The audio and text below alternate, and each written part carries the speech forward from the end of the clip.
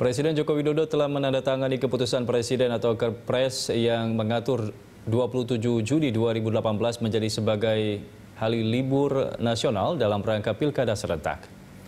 Libur akan berlaku se-Indonesia meski penyelenggaraan pilkada hanya di 171 daerah saja. Presiden mengatakan libur ini diberikan untuk memberikan kesempatan kepada masyarakat menggunakan hak pilihnya.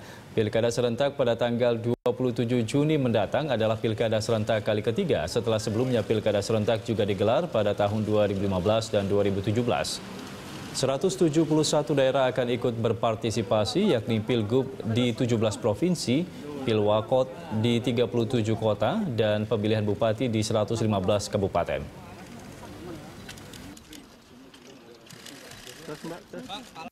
Baru saja tadi saya tanda tangani siang tadi. Nanti tanyakan ke Pak Menseknek.